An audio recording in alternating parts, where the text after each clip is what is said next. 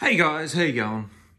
I'm back. I know I haven't posted in a while. I've been busy. Um, I'm currently in hotel quarantine in Queensland, trying to get home. Um, this is day uh, day eight of my hotel quarantine. Uh, it's not bad. I'm in the Holiday Inn, Inn Express in Brisbane Central.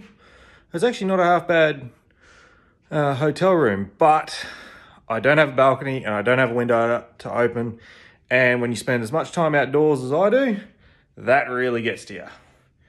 But, you know, kicking along, still surviving. The food's not too bad. Uh, you don't get really get any choices, which sucks, but, yeah, it's good food, tastes good, healthy for you.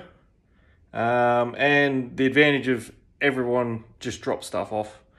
Um, you can get anyone to drop anything off. I mean, I've got Uber Eats, which I've never used before, and that seems to be working really well. So um, if you ever get stuck in hotel quarantine, into it. So, look, it's not much fun, but you know, you got to do what you got to do to get home. So, anyway, I'll catch you guys on the next video. Cheers.